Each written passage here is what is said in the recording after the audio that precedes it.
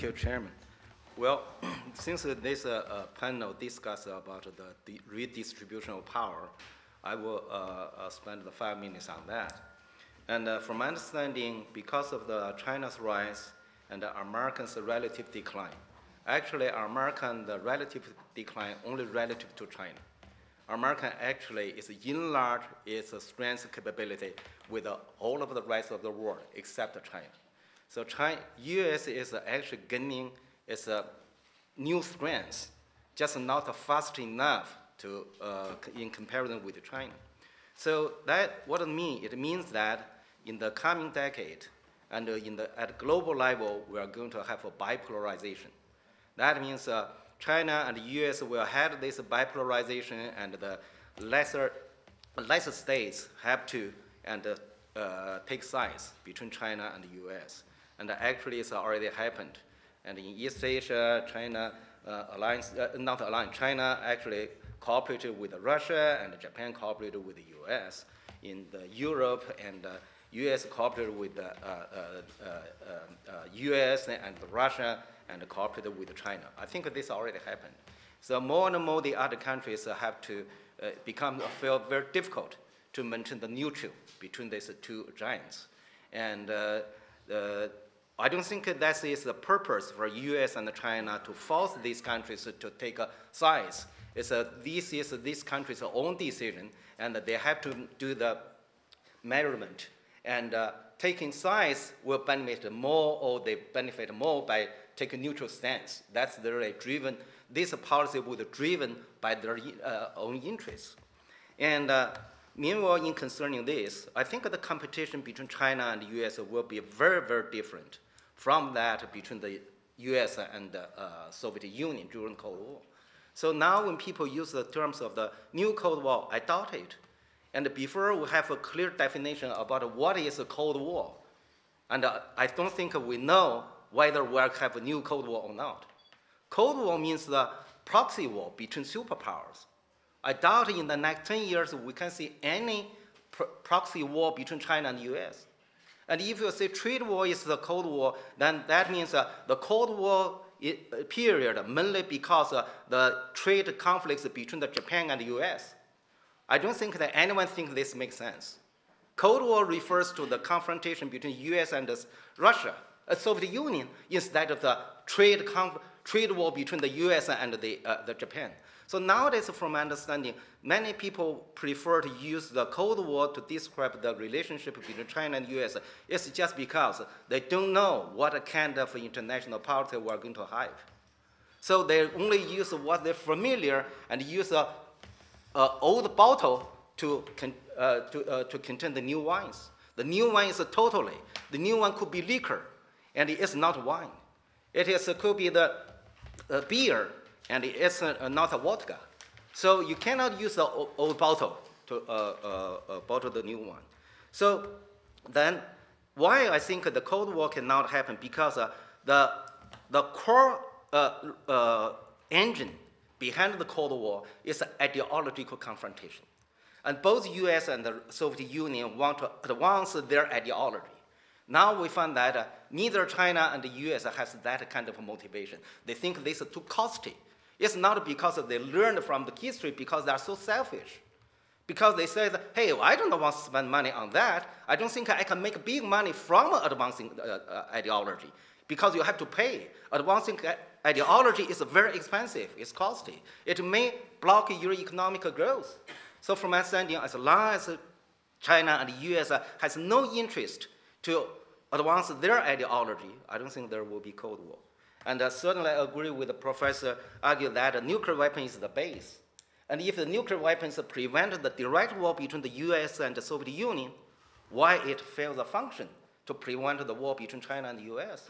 I think nuclear weapons is very, very effective and prevent the war between, direct war between China and the US. Not only that, nuclear weapons even prevent the war between the US and North Korea. So any tiny country possess nuclear weapons will mean that no country dare to attack them, right? So nuclear weapons meant to protect the peace for the world today. Second, and the, the power distribution at the international level will be different, a global level will be different at the regional level. And in uh, Middle East, and we are going to see the five countries, Israel, Saudi Arabia, and uh, Turkey, e uh, uh, Egypt, and the, the, Iran. The five guys com compete uh, for the regional uh, hegemon. And in the Latin American, the Brazil was dominating that region. In, in Black Africa, you will see there's South Africa and Kenya and Nigeria and the Zaire. These four countries split the continent. There's no uh, linkage among these uh, respective uh, subregions. Europe is very, very unique. And I don't know, how do you define the Europe geographically, including Russia or not? I don't know. And even Russia himself doesn't know. They don't know whether they are part of the Europe or not. And if we define, include the Russia as a European state, my understanding, there's a bipolarization between the Russia and Germany. Germany is the dominant power in the Western uh, Europe. If the Russia was excluded from the Europe, and uh, for the Europeans said, no, no, no, Russia is not Europeans. And then this region is a unipolar system. Okay, regional. Regionally, and the uh, uh, Germany becomes a dominant power. I think Germany will maintain its uh, uh, uh, what the, the growth of the strengths and enlarge the strength gap with all of the other European states, including the UK and the France.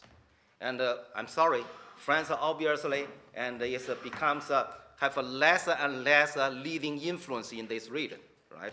So what, uh, the, let me uh, wrap, uh, wrap up my arguments. And in the coming decades, I don't think we will have a global leadership.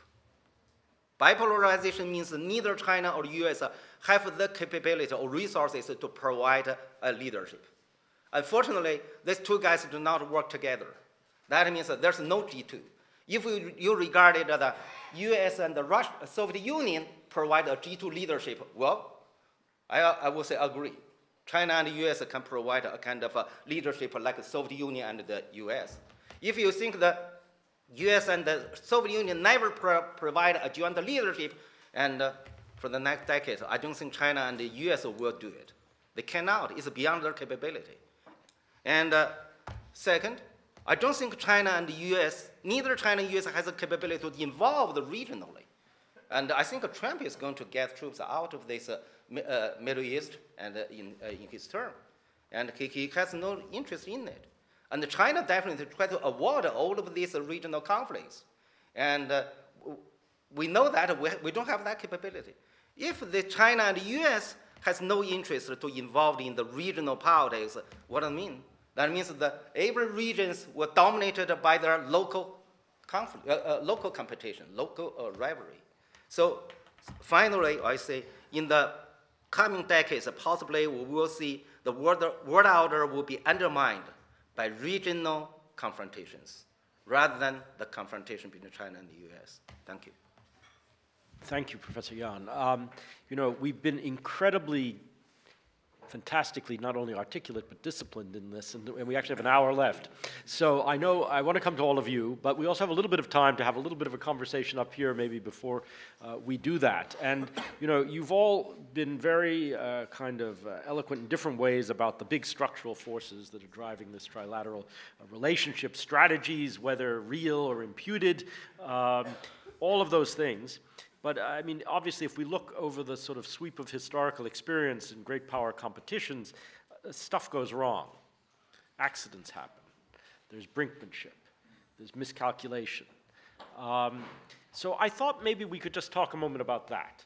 Um, feelings about stability, whether this is inherently stable or unstable, uh, but what could go wrong, whether it's in Kaliningrad or in the South China Sea or in Syria for that matter, where you know, nuclear, nuclear deterrence aside, miscalculation is still, is still possible. And you know, you think, um, if you think back to, for example, 1914, where uh, yes, there were these big forces of, of, of, competition and people were worried about these things, uh, but there was an assumption of stability which was shattered in a period of weeks at a time when I think we would all agree things moved a lot more slowly than they do today. So what could go wrong? What could go wrong? Yvonne, you like to talk about, please. Well, my understanding that nowadays, if we want to maintain the current uh, uh, uh, international order, or need, we do need a kind of uh, uh, uh, cooperation at the global level. That means how to find this kind of, uh, how to share the responsibility for maintaining the peace. And now everyone blame the others. Hey, you didn't undertake the responsibility. People forget that responsibility based on the cost, based on the money, based on the price. So everyone want to enjoy the peace, but no one want to pay for it. So now, from my understanding, the international community need to discuss how do we share the responsibilities. And we cannot, you cannot expect China or the US unilaterally undertake the responsibility. I do not stand as Trump's side. I don't think it's right to shift, uh, shift off the uh, shoulder off this uh, the, the, the uh, uh, uh, responsibility. US is the large, largest country, the strongest country, and the only superpower. Certainly, US should undertake the more responsibility than others. But meanwhile, how about the other countries? If everyone prefer to take the free ride, who is going to offer the ride? No one offer the ride, and then there's no free ride. So from understanding now, is we really come to this period to discussing about the global security uh, responsibility. And uh, what responsibility superpower should undertake? What the uh, regional power uh, responsibility for, for, the, for the regional power? And what these uh, uh, small countries and what responsibility they should undertake. Other thoughts? What could go wrong? Ivan. Of course, there,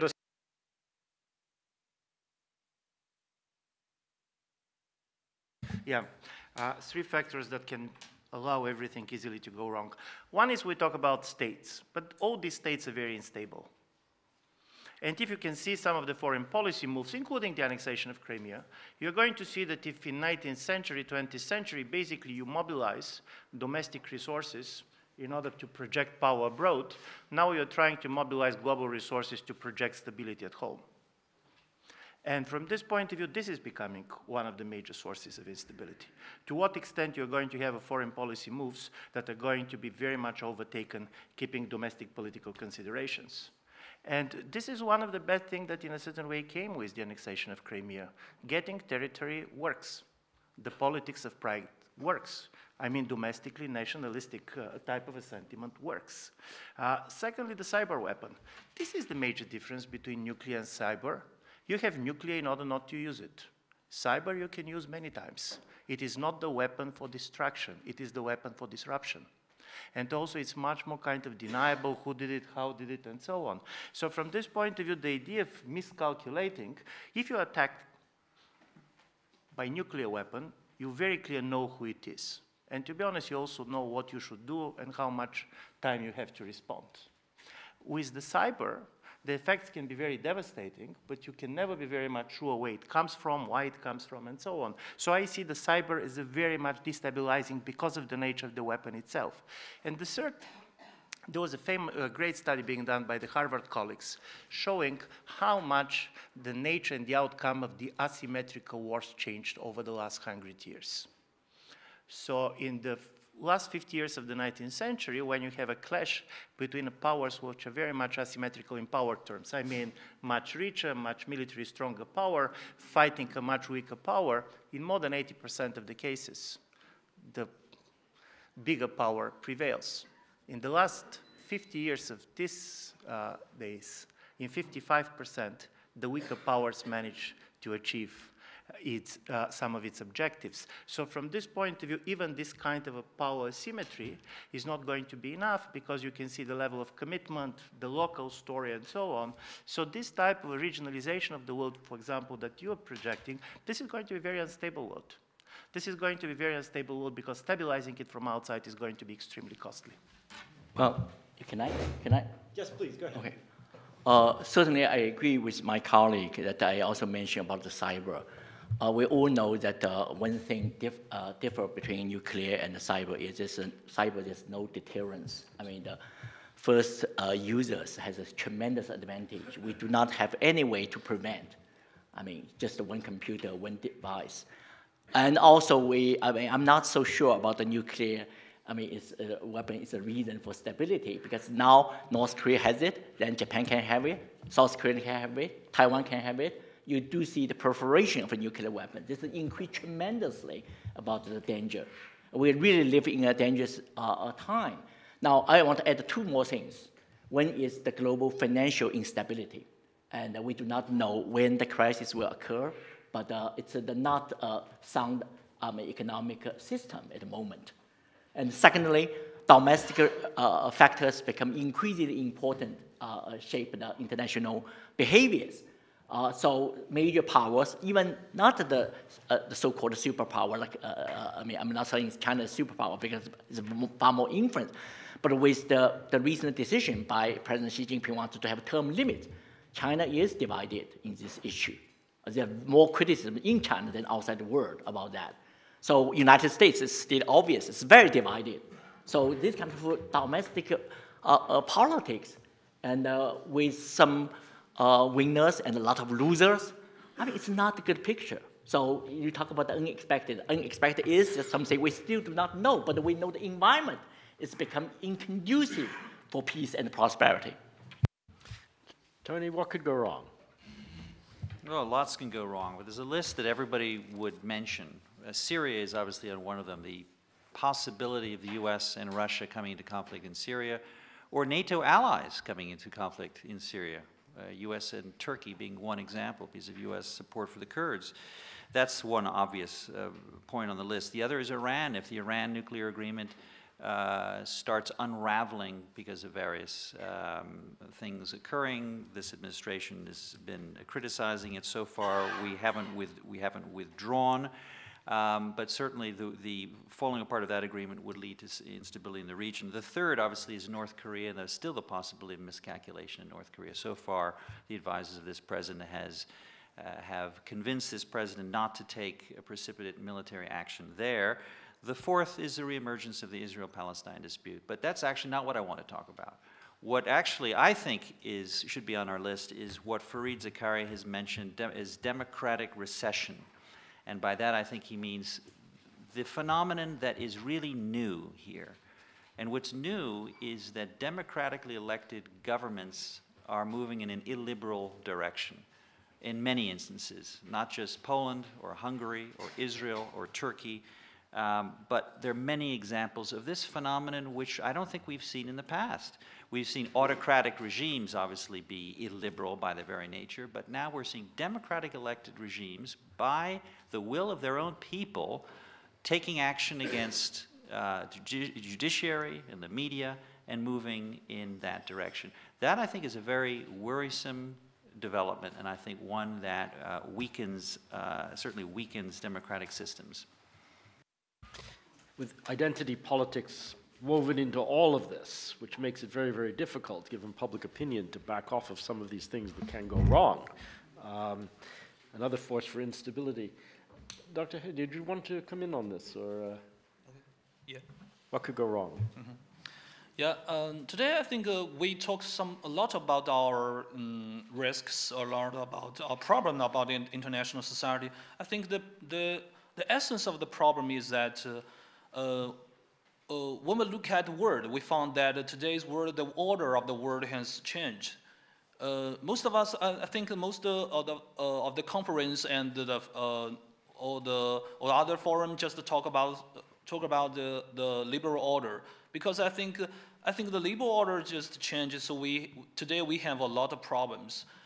Actually, you know, uh, China is uh, is also the beneficiary beneficiary of of the uh, liberal order.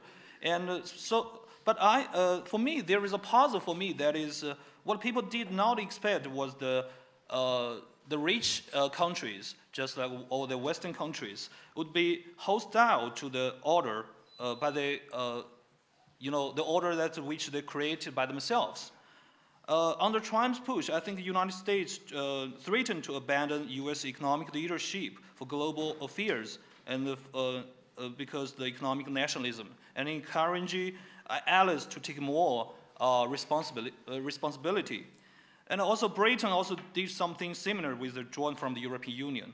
And uh, so um, uh, for, for, the Europe, for the Europe, I think, uh, as we know, Europe is a normative power. Uh, it's famous for its normative power in the world. But today, as, as we know from the Munich uh, Security Conference, as we know, the Europe, European feel that is very uh, anxiety about the world because, you know, because of the, the world, the US, because of the US. So I think uh, today the Euro European uh, began to talk something about the military power. So I think it's a, it's a kind of uh, backward to the history or backward to, the, uh, to something else uh, so I think uh, it's a kind of, uh, you know, uh, uh, maybe it's a kind of anxiety, but uh, I think we should reflect or we should consider why we, why the normative power of Europe will consider the, its, its military power. So I think it's a very, you know, big issue. But I think, you know, for the major power, include the European or China and Russia and US, uh, Uh, I think there are a lot of things we uh, uh, or risk uh, uh, in, in, today's world we, we need to do and we need to, to together to do, such as the terrorism, the non-proliferation, or the, the sluggish of, the, of our world economy. So I think in the future, for the majors, for the major power, I think we should, uh, just as our professor Yan said, we should talk more about our responsibility, to, more, to talk about uh, how to share our, our, responsibility and how to share our future and how to share the power uh, of us. And so I think it's, uh, uh, uh so I think the cooperation coordination is is the only way to find this, uh, you know, to find the only way to, to, to solve this problem. Thank you. Thank you very much. Thanasis. What are the flashpoints? Two points, Ian. First on what go, can go wrong, and second on Cold War. Conflict in the South China Sea. If you see the naval activity last year, it was tremendous. When Trump visited China, was accompanied by three aircraft carriers, and each aircraft carrier it was a battle group with 50 ships, submarines, and all these things. Incredible concentration of force. Oh, the US has increased patrolling the South China Sea because of what China is doing.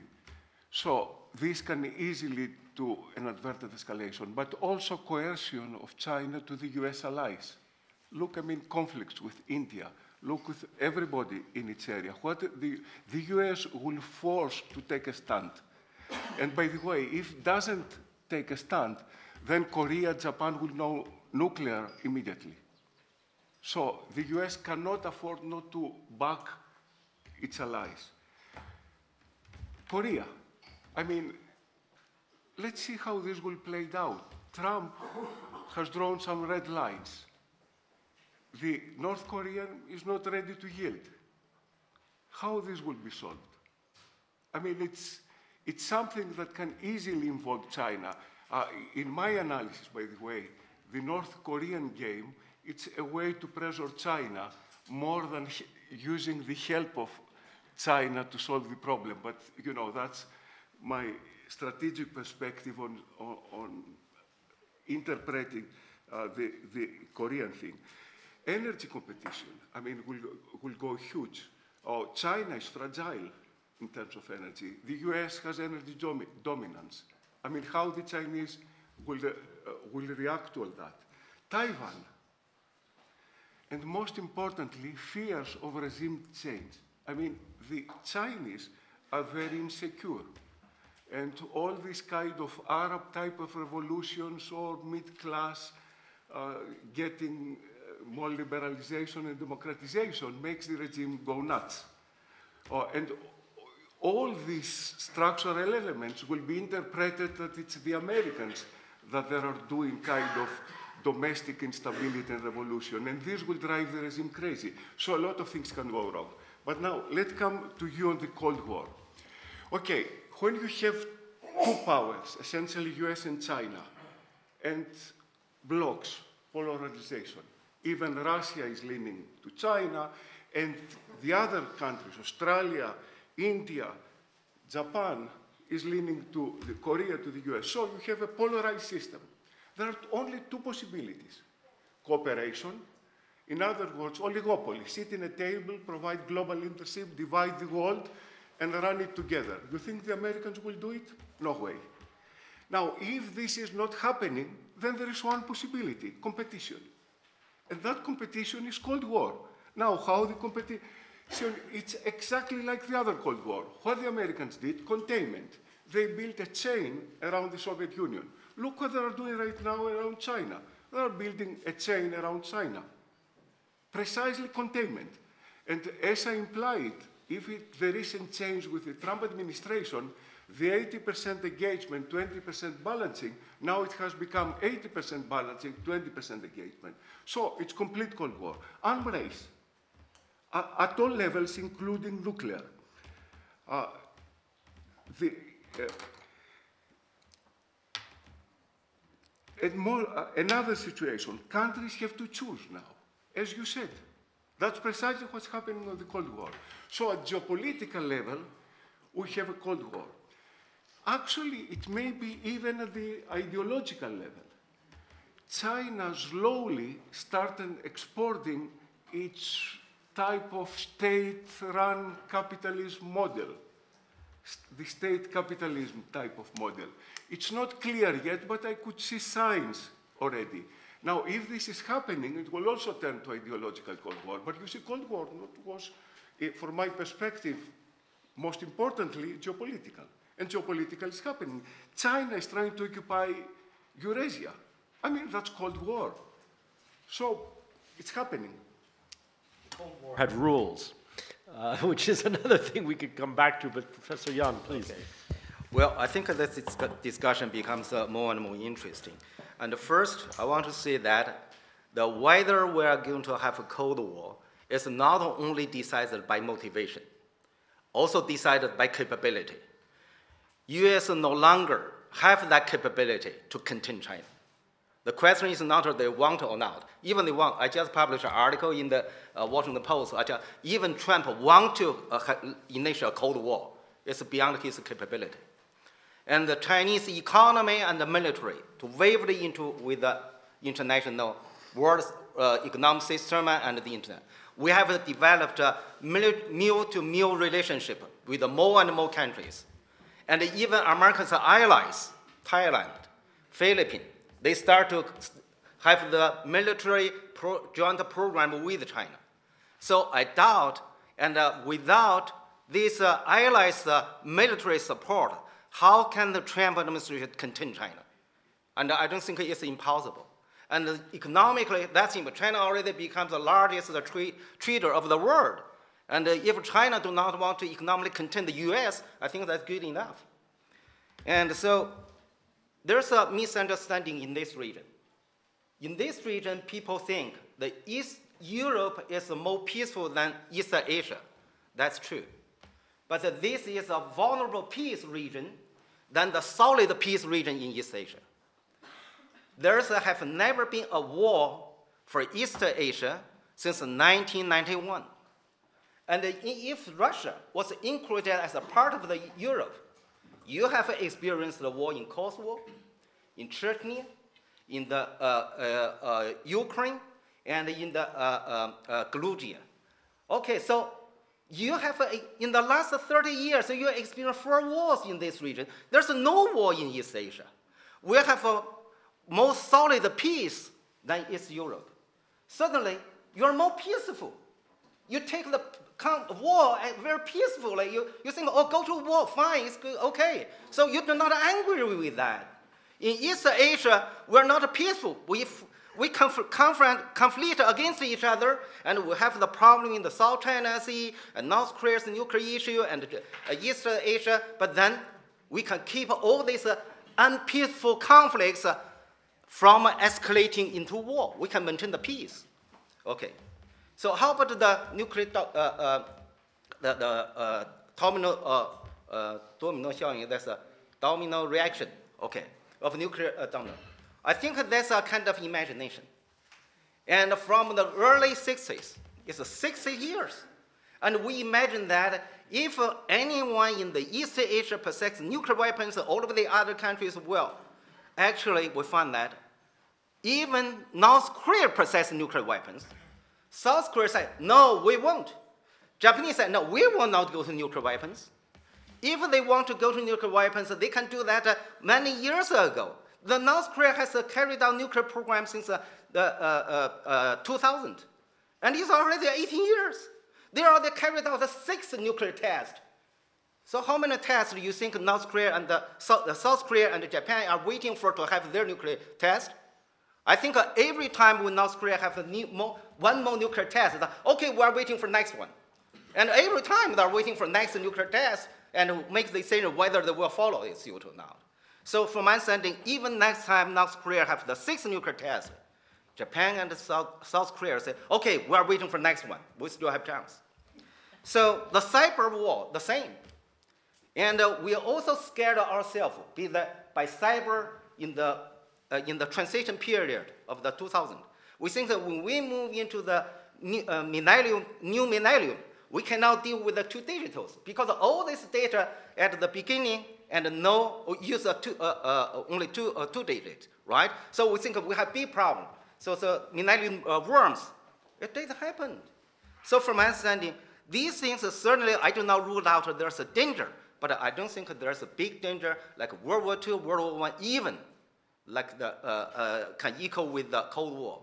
And Cold War requires a certain condition. Cold War cannot occur, uh, happen without, Uh, uh, uh, without uh, the, the, the, necessary conditions. The three basic necessary conditions. First, the positive one is nuclear weapons. Prevent the direct war between the major superpowers. And the two negative uh, conditions. First, isolation. There's no any trade between US and the Soviet Union, no exchange, students exchange program, and no tourists, no cross-country marriages. So nowadays, every year we have millions and millions of Chinese uh, studying in the U.S. Mean, meanwhile, we have tens of tens of thousands of Americans studying uh, uh, at China. We, we have the over 10, uh, uh thousand American kids come to China every year. So this is another factor. The cold, during the Cold War, the not existed. And second, uh, uh, uh, fact, the third fa factor for the Cold War is the ideological confront uh, confrontation. For people, they can make concession on the what? The wealth, secular interests. But human beings so strange. They're very stubborn, stand on their ideology. They will prefer to advance their ideology at the price of their life. Right? We see in the Middle East, and for the religions difference, for us, well, that's so minor difference. Why you fight against each other? We cannot understand them because we are Chinese uh, atheists. We do not have no religion. So we think, just, just you know, my experience that when I visited the Jerusalem, I said, hey, you tell me all of this. No, we are Chinese tourists, uh, uh, uh, visitors. We said, hey, this is stories. What? The Israelis is very angry. Hey, hey, wait, wait a minute. This is not story. This is history. For us, you're fight for stories. No, no, no. They said we fight for the history. So, so that's a mentality. So okay, you, if you ask me what may go wrong, I think uh, if we maintaining the so-called post-war, post-Cold War mentality, it will cause a lot of big, big problems. Finally, I will say, the concept of engaging China should be changed. And uh, if you want to say, okay, we engage, why there's a problem between China and uh, the Western world, and uh, there's a superiority over China. Hey, we should engage China. China says, wait, wait a minute. Do you agree I engage you? If you like this term engage or tend to, okay, I'm going to engage you. So in the future, possibly we should use this concept, mutual engagement at least, if not uh, only engage China. Thank you. We should start dating. Well, thank you. so th thank you very much. We started out this conversation, I was kind of optimistic that this was a, a kind of slow-moving, long-term competition, not too risk-prone, all that. Now I'm worried, actually. Um, but I'm, I'm going to turn to all of you. We have about a half an hour. If you would just catch my eye, which you are doing, and also if you would tell us who you are and where you're from, that would be, that would be super. And maybe if I could start right here, Tim, please. Do we have a microphone in the room? Just in the front, please. Right, right here. It's coming. Who? What? Oh, sorry. Timothy Garton-Ash, Oxford University. Fascinating panel. I have a quick comment on Ivan's wonderful image of seeing cats or dogs, and then two simple questions. Um, I had the curious experience of being invited to brief President George W. Bush about Europe before his first official visit to Europe in the early summer of 2001. We had two and a half hours with him, and he had a geopolitical vision. Somewhat simplistic, but very clear. We used to have a global competition with the Soviet Union, now we have a global competition with China. China is the gate college, and apropos Russia, what he actually said, Cheng Li, was Russia has no alternative long term but to go with the West. They've only got 15 million people east of the, uh, east of the, uh, of the Urals, and there's China rising up. So I don't know if China's a cat or a dog, which, which is maybe the year of the dog. Shall we say it's a dog? Okay. So he was seeing, he was seeing the dog. 9 11 happens, you make the point, and immediately everything changes, and there were only cats, and he's only seeing cats, and the Chinese dog is an ally in the struggle against terrorism, and you have what Richard Haass very well called a decade of strategic distraction. Then you have the global financial crisis, then the Obama administration starts to kind of refocus on what is clearly all along the big geopolitical challenge, the rise of China, pivot to Asia, so what are we reading about every day on the front page of the New York Times? Russia. And we're back in a mental Cold War with Russia. It is, I think, hard to find such an impressive example of strategic distraction by a relatively declining great power as that of the United States. Um, that's the comment. Two quick questions. First of all, you've been talking for 75 minutes. No one has mentioned the words the West. Not once, the West. Are we therefore agreed that the West exists as a community of history, of culture, of values, but no longer as a geopolitical actor? That's question number one. Question number two to our Chinese panelists. Um, Tony Gardner made a, did a brilliant job of speaking for Europe, I have to say, better than almost any European could. Um, what is your view of the European Union as a geopolitical actor? 15 years ago, the Chinese view was we've got George W. Bush offering a unipolar world, the European Union is going to be another pole of a multipolar world. When I hear you speaking now, uh, it's very revealing you talked about Germany. You didn't talk about the European Union. So, to the three of you, what's your view of the European Union as a geopolitical actor? Okay, the West and the EU. Please, thoughts. And there'll be plenty of questions, so don't, don't feel compelled to come in on everything, but if it seizes you, please. Tony. Well, what an interesting point. Strategic distraction. I couldn't agree more. I think we haven't talked about economic competition. That's really where the story is. Who is going to dominate the technologies of the future? This is not going to be a uh, hot conflict. This is going to be who will determine the rules of trade and who will dominate the uh, technologies of the future, such as artificial intelligence, robotics, nanotechnology, data analytics, material science, cloud computing, supercomputing. That's the real story. And there, I think it's another example how China has been so strategic in its vision about identifying and increasingly dominating those technologies of the future. And the second, who's going to who's to determine the rules of trade? And this is where I'm so sad because we had an opportunity, I think we still do, for some period of time, maybe five to ten years left, to have worked with the EU, with our European friends, the West, to solidify our common values through trade agreements. And that's what TTIP was all about. It wasn't just an economic agreement, it was a political agreement and how to embody in a trade agreement high standards with regard to intellectual property, with regard to protection of labor rights, with regard to protection of environmental standards. And we have forfeited that very important window of opportunity. TPP's gone ahead, but minus the rules on intellectual property and minus the rules on investor state dispute settlement, which were two important parts of that agreement.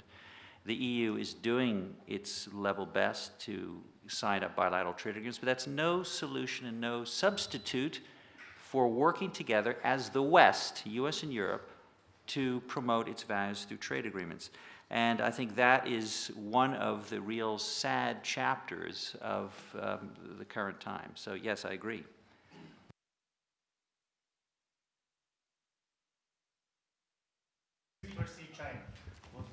Absolutely. Do you talk about the West? Does Yeah. it exist? In China, we still use a, a term of West, uh, uh, very popular in media, in academia. But personally, I think that's a very, very typical Cold War mentality. And uh, I just visited the National Museum at Athens. And when they're talking about West, and actually re result, uh, uh, the view, the part of this, uh, the, uh, the others, the East started from uh, what? It's not Turkey, from the eastern part of the uh, uh, uh, Greece. So the West is a uh, uh, geographical concept, gradually developed in the cultural concept, and in the Cold War becomes a political concept. So that's why even Japan, so eastern from the Europe, is regarded as a Western country, right? So this concept of West is already politicalized and is a political concept. So if you use the West, uh, uh, the term indicating the democracy, so then you find that India is the uh, uh, West, then you have problems. How about uh, Palestine, uh, Pakistan? Pakistan is also election democracy. So people, oh, they say not uh, mature. Okay, there's a lot of mature West, and mature West and, non-mature West. So the fact that there's a problem, this concept can no longer explain the reality today. Today, we cannot use the concept of East and West uh, to, to analyze the real politics. We can no longer use the North and West the concept to analyze the, the, uh, the situation. We, it's difficult to use the con uh, concept of capitalism or socialism. So what Chinese capitalism or socialism? Can any of you give me a clear definition to explain this is a socialist, socialist country or capitalist country? So now these concepts from medicine out of date. We need a new format, we need a, a new concept to analyze the changing political reality. Ivan, the West, Trump doesn't talk about the West either, you know. Yeah, I, I, do believe that here the trick is the following. We always talk when it comes to the liberal order about two revisionist power, Russia and China. But you have three. Because the United States at the moment is also revisionist power when it comes to the liberal order. So from this point of view, I don't believe that President Trump is going to identify himself with the West in the way it functions in the post-Cold War period. So when he went to Warsaw, he tries to define the West in cultural terms. West is basically the Christian Jewish tradition. If this is the case, that the West is only can function in Europe. So from this point of view, it's not going to be a global concept, it's going to be a regional concept because I cannot understand Indians very much, basically, identifying with the Christian Jewish tradition. Uh, so, uh, and then comes two other questions. One is, can the United States, in this new situation, preserve the Cold War alliances system? And this is an open question. Uh, this is an open question, Pakistan being one of the great examples of how it works, basically. Uh, uh, and my, I'm going to ask, end with a question. We talk about Cold War. Cold War cannot function in the state of a global economy. If you go to a Cold War, you're going to go basically with a very much regional economic blocks. And for me, the question is, what is the meaning of sphere of influence today? People like to talk about sphere of influence. What does it mean? Is it defined by nature of the regime? Is it by trade patterns? Is it by what kind of a basically internet search machine you're using? Is it informational sphere of influence? And for me, this is a question that is not answered, and people are basically very easily using the concept of the 19th century or the Cold War to try to put it in the world, which basically probably does not fit to it. Yeah, can I?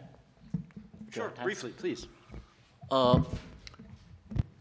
you know, one thing struck me uh, in recent months uh, is that how Western countries actually unify to a certain extent about the fear about China's threat. Again, I do not want to make a statement this is a um, EU or European country or so-called West is a monolithic group. They're different. But again, you look at the media, uh, the mainstream media in United States, in Europe, I mean in uh, uh, uh, EU, Western countries, especially, there's a lot of criticism, dominated by one-sided criticism. Now, again, this is actually, I'm not a person really obsessed with this term. I agree with uh, Professor Yan Xuetong, and certainly also do not seek, uh, think that China has an ideology wanted to defeat the West, defeat the United States. This is complete nonsense. One thing that China developed over the past 30 years is the rule of law as a direction, of course, that someone want to change it. But uh, of law is very much a Western concept. It's uh, not in the Chinese tradition. I think this is dramatic, uh, very uh, important change. But uh, I mean, this reminds me that uh, again, for Chinese decision makers, I mean, leadership, they need to be sensitive about uh, this. But from us, um, from us, I'm sorry, this, I'm switching my identities. you know, again, I caught up in such a, a terrible situation. For the West, we should avoid um, really obsess our, uh, the view that uh, do not look at complicated reality in China. This reminds my uh, good friend, his name, his artist, his name is Xu Bing, probably you, some of you know him. He got the MacArthur Award, and probably is the most uh, accomplished uh, avant-garde artist in China. He created the Chinese characters, look like Chinese characters, but actually it's English. I mean, he sent me one. It's actually Happy New Year, but look at the Chinese. But for those people, they think this is Chinese, but actually it's, it's, a, it's English. So you do see the class culture misunderstanding, misperception. We use our own mentality, own tradition, own religious beliefs to impose a lot of things. Actually, it's not from China. Of course, that uh, when China become important, the outside world has a legitimate reason to be concerned. But I still do not see China has ambition to dominate the world, become a new imperial power. I think there's some, at least some things in Chinese tradition against that. That explains why Chinese civilization continue for so long. So I think that uh, I, mean, I do not have a clear answer for you, but just want to look at the issues in a different way but actually more instructed by, at the moment, I hope that will be not lasting. It's only one voice. Do not look at the different uh, uh, uh, you know, scenarios. Think everything is predetermined, that China predetermined to do ABC. That's really, if you treat China as enemy, of course China sooner or later will become enemy.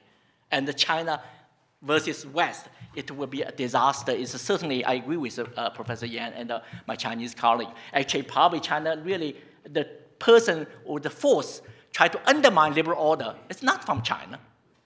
It's, uh, you know, you know the answer, who and, uh, and where try to challenge that uh, liberal order. Okay, there are a lot of hands in the room, and what I'd suggest we do, if you agree, is that we take. Okay, very brief, please. Okay, on strategic distraction, I mean, it's clearly strategic distraction. Russia is a regional declining power. It has to choose between two evils the US and China. Tactically, it's leaning toward China. Strategically, it will understand that China is a bigger threat, demographically, uh, trying to occupy essentially Eurasia. So strategically, they will understand that they will lean to the other pole. So at the moment, yes, it's a distraction. Now on the West, I did not use this term because geopolitically it's not relevant.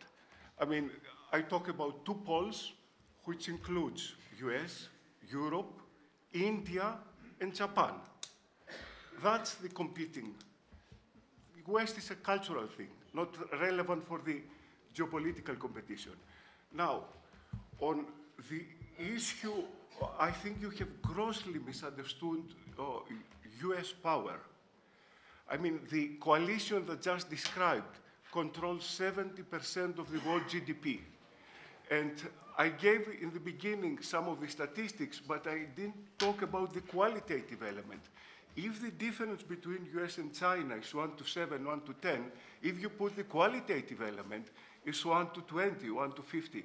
So it will take a lot of time for, for the China to compete and very easily for the United States to have a Cold War if it chooses to. And I think structurally they're moving there. Okay, thank you.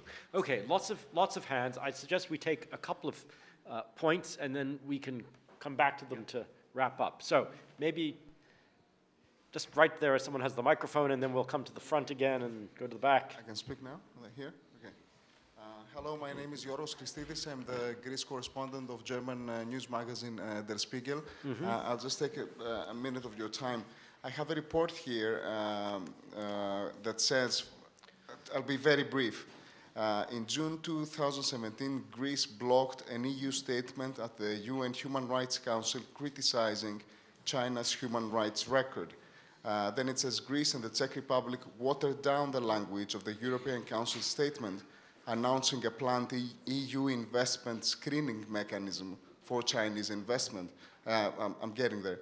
Uh, in summer 2017, uh, Greece uh, said that investment coming from China is, is, you know, vital for the country's rebirth and economic development.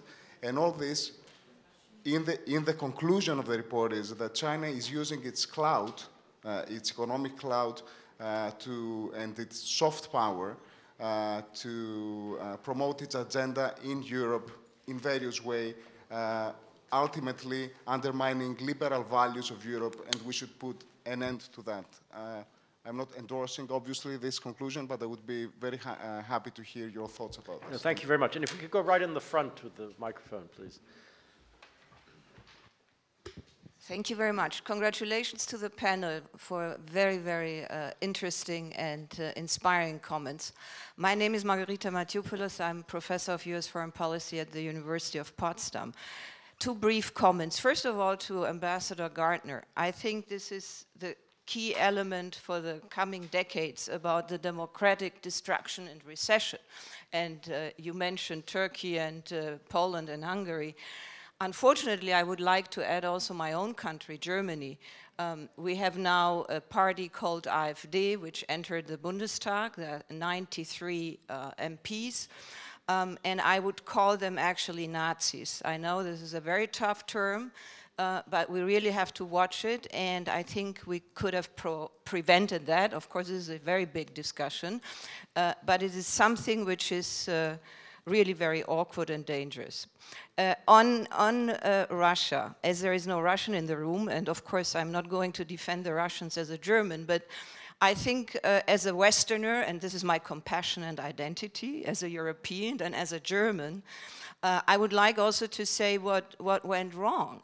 Uh, and what went wrong is that uh, at the very beginning, after the fall of the Berlin Wall, uh, there was, in my view, a totally unnecessary triumphalism in the West, uh, in, in the US as well as in Europe. Uh, and um, there was at the beginning a very modest and sincere attempt by the Russians to have a Como with us. I remember 2001, Putin coming to Berlin, speaking in the German parliament, in the Bundestag, in German, and offering uh, a, a very serious cooperation. Um, I thought that that was the beginning of uh, uh, an opportunity we did not grab in Germany. Secondly, I will never forget uh, the, the, the, the comments of Primakov, one of the most brilliant, I think, Russian minds, uh, saying that uh, if, if the West doesn't want to work with us, then we have to work with the Chinese and Indians. Um, we didn't take it seriously.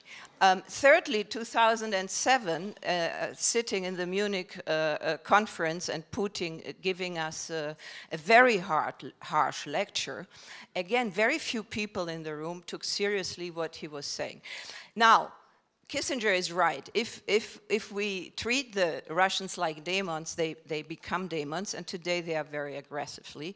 Uh, but on the other hand, I think if we want to look uh, ahead wh- what the challenges are, we also should look back what the West, and as a Westerner, German and European, uh, I would also like to see what mistakes uh, we did. So I think it's very important uh, uh, to, know, to, to acknowledge this. And it is also, I think, our mistake that today there is this relationship uh, between Russia and, and China, which uh, actually we help very much to become one. Thank you. Thank you very much. Um, Fight Lucas, please. And I'll work my way over to the other side of the room as well. So. Very briefly, Lukas Tsoukalis from ELIAMEP. Uh, many people, are, people around the table have expressed doubts as to whether we should use terms like spheres of influence or new Cold War in the context of global economic interdependence. I have a very simple question addressed to all of you. To what extent do you think that global economic interdependence is reversible? Thank you very much. And just right, right there on the aisle, please. I'll circle around, not to worry. Very briefly, uh, thank please. you. So my name is Sonia. I grew up in Malaysia, and I currently attend Wesleyan University in America. Uh, I have a question particularly for the uh, Chinese uh, professors here. China has been quick to latch their economic influence across African mining industries in the South China Sea in emerging Asian markets. We've seen that with the One Belt, One Road initiative, and as well as strong military exercises carried out in the South China Sea. Though some have labeled it as economic imperialism and causing these industries to be dependent or interdependent on China, um, do you see the US taking comparable measures either now or in the future to win over Asian markets? Okay, thank you very much. And by the window, please, just over there.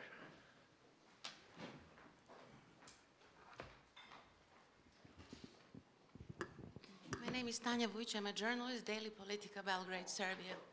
A question for a Chinese professor speaking at the end of the session. You said that the lesser states would have one day to choose between two big superpowers. Could you define the lesser state? Could you say what happens, what's the criteria of choosing, and what happens if you choose the wrong side? Thank you.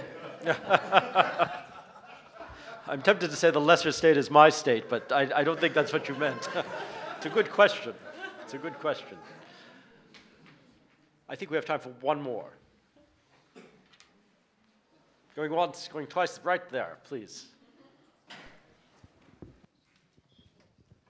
Uh, very quickly, uh, Romolo Gandolfo from College Year in Athens. I wanted to ask the panel whether the codependence between America and China regarding America's growing government deficit and foreign debt. As we discovered in Greece, the relationship between creditors and debtors, it's a very complicated one.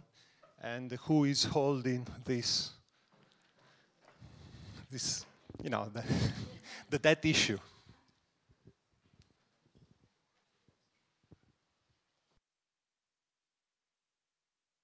So let me come back to our group. Uh, don't feel compelled to talk about all of the points that were raised, but do just take two minutes, even a minute, uh, an opportunity to respond to something that was of interest to you. So please go ahead, uh, Professor, if I might start with you. Okay, I use the two minutes to answer four questions. And the first, I think the Europeans already to take sides between China and the US when China continue to advocating the free trade and America advocating for the fair trade. And it seems the European countries uh, and take sides at the Chinese, Chinese side. And I don't know this is a fortunate or unfortunate to you. And second is EU. And EU by now do not have a, a code, number, a code number for this uh, uh, phone. So it's an international organization. It cannot play the function of the states. And the third, and globalization, and uh, that depends on how do you define it. My understanding, globalization not only means a free trade and a free flow of the capital, it also means a free flow of terrorism, and uh, the free flow of the disease, free flow of the uh, pollution. So negative part of the globalization is gaining momentum. It's become stronger and stronger. No one can, if we do not work together, I don't think any, uh, anyone can reverse it. So when we're talking about why, who can we reverse the globalization, and that depends on what you're talking about, positive side or negative side. Actually, the two sides go, uh, went together. And the last question is about the, uh, what is economic, oh, uh, economic imperialism. Well, when any country have a stronger economy, they will invest in the other, uh, uh, uh, outside, beyond their borders. If China's behavior is defined as imperialism, and Germany is, is European imperialism, they invited in the older European countries, right? So invest, foreign investment cannot be used as an indicator as a, uh, economic imperialism. Well, I completely agree with Margarita that we made a lot of mistakes vis-à-vis -vis Russia, but I think they are reversible. The more that they will realize the Chinese threat, they will change policy. Now, on Professor Tsoukalis' interdependence, I mean, interdependence is here to stay, but this doesn't mean that we will not have trade wars and rise of protectionism in certain areas. But the liberal assumption that interdependence leads, leads, to peace is completely wrong. Look what happened before World War I. Interdependence was high, and World War I happened. And actually, the fact that we have interdependence and due to the geopolitical competition that I have outlined, it makes the relation worse. Because the closer you are when you compete, you have more instruments and level of powers to exercise, and precisely this has been played right now in the international system. Now, on China, I was slightly more polite uh, than the young lady. I call it revisionism, uh, which I think uh, imperialism is valued, um, loaded word. The fact is that China wants to, China wants to change the status quo. And it's using, of course, where the means that are strong, economic. The whole Silk Road is a geo-economic instrument to increase China geopolitical power. Uh, and it's naturally the Chinese to compete on their strength and not where they're weak on the military level. And that's precisely what we expect to do, and that's precisely what they are doing. Thank you. Professor Li. Well, let me answer the question whether the globalization economic trend uh, started a few decades ago or even earlier are irreversible. Uh, I do not have the concrete answer because all depends on the discourse which is happening like this one. I think that uh, in the United States, in Washington, where I come from, there are three waves regarding China. They are all quite negative.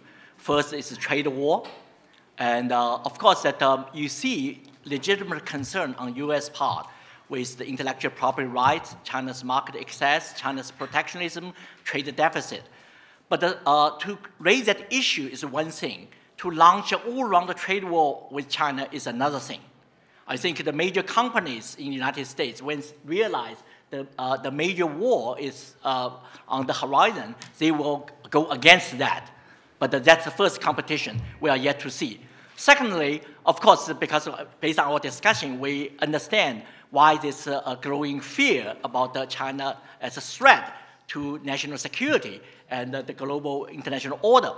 But it's a, this is one thing to prepare, to be cautious, and to want to, to warn and to observe. But it's quite another thing to contain China or have a, a prepare a real all-round war. Fighting with China, I mean, for what? And whether we can avoid, I think the political establishment will start to discuss that issue. At the moment, there's certain things more to do with our worry about Donald Trump and, uh, rather than China. So that debate is yet to happen. If you look at the, the Senate hearing, these uh, uh, uh previous uh, uh, leaders like Henry Kissinger, you name it, they all think that it's not a smart move to go that kind of war, conflict with China. Finally, do you really want to have a cultural war with China? To basically, you cut off all the foreign students, 400,000. Do you think American university president will buy it? And also, do you think really people think that the culture exchanges, education exchange is such a horrible thing? If you believe that, I don't believe that. I think majority of my colleagues will not believe that. So, so I think that the debate will shape our future. Thank you very much. Ivan, yeah, um, please. Uh, ju just two points. Uh, uh, the first point is China has one major structural advantage when it comes to dealing with Europe. And this is that East European states are so much obsessed with Russia that they always believe that China is coming as a countervailing power. So paradoxically, in a certain way, the success of China in Europe starts from the fact that Poles and others do not see China and Russia as a natural allies, but as a natural opponents. And I do believe unless this is not going to change, Europe is never going to be able to speak about that. China, not even to act about China. And the second, uh, what Loukas said, I do believe that there is one important thing that, in my view, is going to affect very much the state of the global economy. And this is the proliferation of sanctions on the American side. And this time it's not Trump, it's the Congress. Because the Congress, for very good reason, being mistrustful to President Trump, decided to have a foreign policy of their own, but the only thing that they can do on their own is to sanction. If the United States decided to basically broaden the countries which they're sanctioning on. There are going to be incentives for people, and particularly for China, to try to create a global infrastructure different than the existing one. And part of the major strengths of the West comes from the fact that we control the infrastructure. Asian Development Bank was a great example of this. The moment you're keeping the Chinese out of the World Bank and IMF and so on, they're going to come with a project of their own. And then this type of a destruction of the global economy, in my view, is going to very much to follow the security alliances. Ivan, thank you. Dr. He, very briefly. Okay, I will say something about the soft power about China. I think, uh, uh, you know, I think the definition about soft power is that there's something in mind, not the business, not the economic. Uh, software is about the, something in mind or something about the language and culture. It's not about the economic, economic. I think the, the uh, China invested in, in Europe, the successful um, cases is that the Piraeus project in, in Greece, as we know. And, and, and the statistics show that there were about additional uh, 5.1 billion uh, uh, euro of long-term economic benefits to uh, Greece. And by 2052, we'll end a, a total of 100, one, yeah, um, 150 and 22,000 jobs for Greeks. So I think it's a, it's a very uh, uh, great, uh, you know, project for, for both sides, and also very successful cases for the cooperation between China and Europe. Uh, so, uh, so for the soft power, I think if uh, if if someone just like uh, just look at this uh, this kind of inv investment is a kind of soft power, I think if if other countries just just invest in China, I think the Chinese government just welcome. Yeah, yeah. Thank you. Thank you very much. Tony, a last word. Very brief. I think everything is reversible. Nothing is irreversible. Already World War I was invoked, Smoot-Hawley tariffs in the interwar period, and today we're seeing a potential reverse of the multilateral rules-based system that's under attack. Not just the dispute settlement body, which could perhaps stop, stop functioning if we continue blocking the appointments of uh, members of the appellate body, but more importantly, the new policy that the United States reserves arrogates to itself the ability to ignore adverse WTO rulings invoking national security at a time of peace to impose tariffs on imported steel and aluminum from allies, from allies, from Canada, from Europe. These are significant things. So, of course, it's reversible. And we should be careful what we wish for. Um, so, uh, I, I, think a lot, of, a lot is at stake. Tony, thank you. Uh, Please join me in thanking all of our speakers. I hope you'll agree this was really an extraordinary, an extraordinary conversation.